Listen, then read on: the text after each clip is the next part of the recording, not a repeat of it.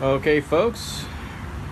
Got uh, Richard with Surreal Sculptures here, and our pieces are just about cooked. I'm not this this resin I bought is uh, really cures fast. I uh, it does a job. Like there, there's there's some raw right there.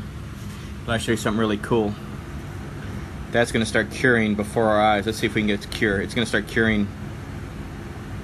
Let's give it a minute. I just I just poured this. Uh,